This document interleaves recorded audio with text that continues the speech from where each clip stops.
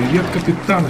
В эфире FW Channel, канал, где изучают корабли. Очень хорошо помню, что когда вышла Миссури, то очень многие игроки и обзорщики отзывались о ней крайне прохладно, делая выводы, что она явно не стоит того свободного опыта, который за нее просили. Вроде бы это было 750 тысяч свободки. Тогда многие утверждали, что это всего лишь Айова с РЛС, которая на фоне Монтаны многими считалась чуть ли не кактусом, в том числе и по причине не очень хорошей живучести.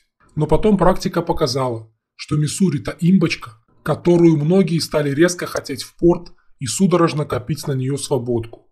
Да, это всего лишь Айова, но наличие РЛС очень многое меняет в плане не только влияния на бой, но и фарма. Пошугать эсминца РЛСкой на линкоре оказалось крайне эффективно не только для нападения, но и защиты. Я сам довольно много играя на эсминцах, прекрасно знаю, насколько это неприятный и грозный корабль. И вот в игре собирается появиться еще более расчудесное чудо – американский линкор восьмого уровня Constellation, над которым, похоже, трудилась целая бригада эльфов. И это несмотря на то, что часть эльфов была привлечена к работе над Неаполем, видео про который недавно вышло на нашем канале. Оказывается, эльфы не такой уж и редкий вид. Constellation пока находится на тестировании, поэтому его ТТХ еще могут измениться. Но тестируется он уже прямо в рандоме, так что вам будет полезно уже сейчас понимать, что это за штучка. Итак, что же в этом линкоре такого эльфийского и интересного? Много чего. Не зря Constellation переводится как созвездие. Во-первых, несмотря на то, что по внешнему виду перед нами типичный утюг типа Колорадо и Канзаса, которые в игре ползают со скоростью около 24 узлов, Constellation – утюг летающий. На эльфийской тяге он разгоняется с флажком до 34,9 узлов, то есть практически до 35 узлов. Это очень комфортно и это первая схожесть с Миссури.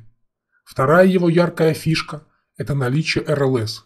Причем если у Миссури оно бьет на 9,5 километров, то здесь уже на 10. При этом маскировка Constellation лучше, чем у Миссури и составляет всего лишь 12,2 километра.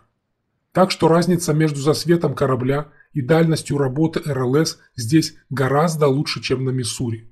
Время работы РЛС почти такое же, как и на Миссури довольно долгие 30 секунд.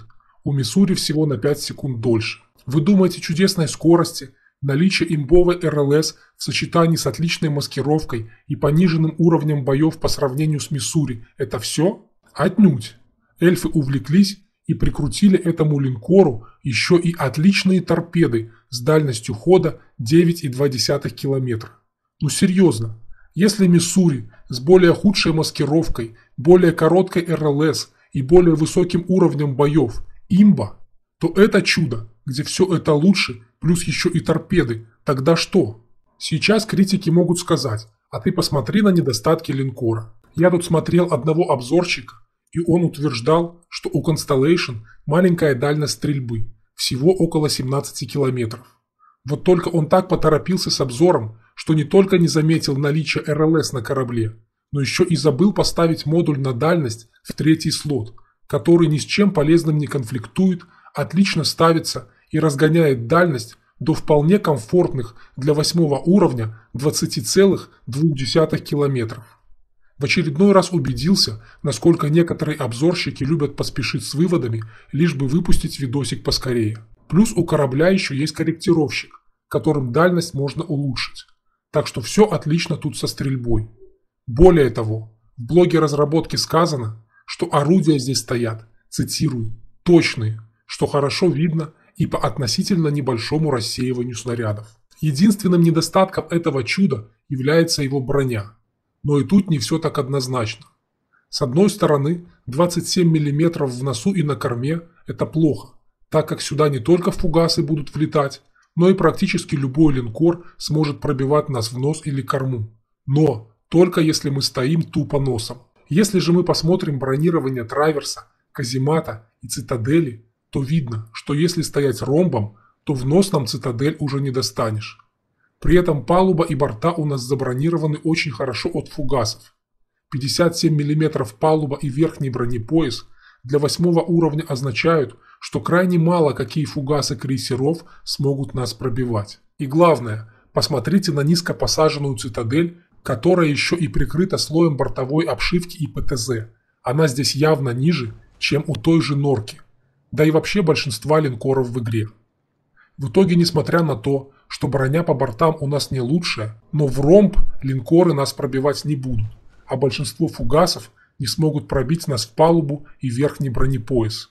Так что если не стоять тупо носом, а играть от маневра, что при скорости в 35 узлов и отличной маскировке более чем реально, то линкор сможет достаточно хорошо жить на средних и дальних дистанциях.